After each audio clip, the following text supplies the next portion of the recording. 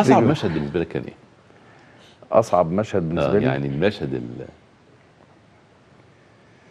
آه كان إيه يا بيتر فكرني. الم- بتاع الموت. بتاع آه، لا. لسه دلوقتي. لا مش ده مش أكتر مشهد. عايز أقول لك أكتر مشهد بالنسبة لي وكنت آه، كنتش حابه يعني مش حابب مش عارف أعمله المشهد اللي كنت بنزل آه، مراتي و- آه. وأختي ال- المقبرة. آه. المقبرة. ليه؟ أنا عمري ما نزلت تحت. خالص. في حياتي. مم.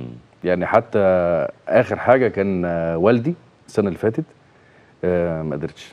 يعني حتى كان محسن منصور وأخويا رامي وماجد المصري كان واقف ماسكني كده حاضني وبتاع ما كنتش وحسني كان معايا ما كنتش عارف آه، عمري ما نزلت تحت.